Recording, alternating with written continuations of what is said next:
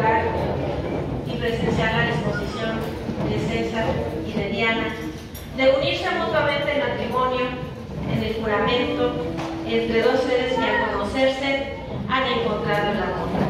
Ese extraordinario sentimiento que mueve montañas y todo lo puede, me hace recordar una antigua promesa escrita en el libro de Ruth que dice lo siguiente. Iré a donde tú vayas, viviré a donde tú vivas. Tu pueblo será mi pueblo y tu Dios será mi Dios. A donde tú mueras, ahí moriré yo. Una hermosa promesa de amor que puede ser especial para esta ocasión.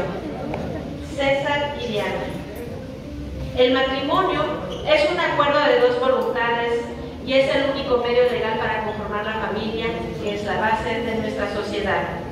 Su hogar lo deberán cimentar con la comprensión, con la lealtad, pero sobre todo con. Deben actuar ambos siempre con prudencia, ser tolerantes el uno con el otro y respetarse mutuamente. Amarse por encima de todas las cosas. Ello le aportará el secreto de una vida feliz y plena. Por eso en este día tan especial les pregunto, ¿están listos para dejar de lado el tú, el yo y que hoy ustedes se conviertan en un verdadero nosotros? ¿Están listos? Estamos listos. Fuerte aplauso. Tenemos a otra niños, pero como no está, están en representación los sobrinos David, Daniel y Diego. Un fuerte aplauso para ellos.